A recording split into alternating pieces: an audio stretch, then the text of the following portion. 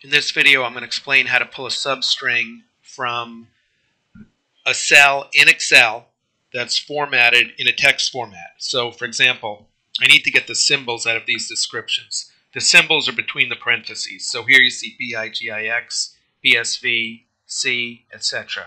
So let's use this one here. C. Let's go with Cisco, CSCO.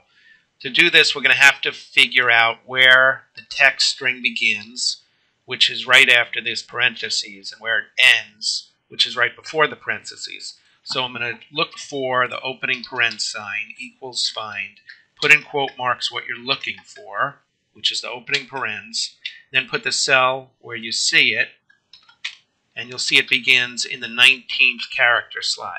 Then we want to find out where it ends. So we're going to go equals find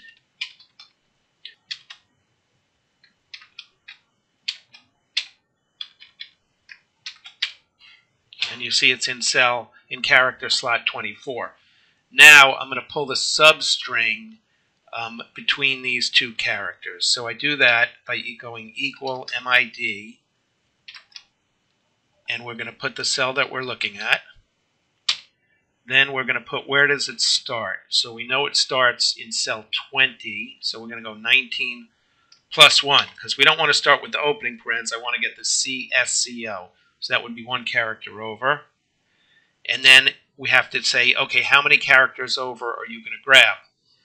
So it could be four, it could be five. It just depends on how long the symbol is. In this case, it's four, and that's why we looked for the ending character there in column C. So here we're going to go um, column C minus column B minus 1. And there you go. So now we have the symbol.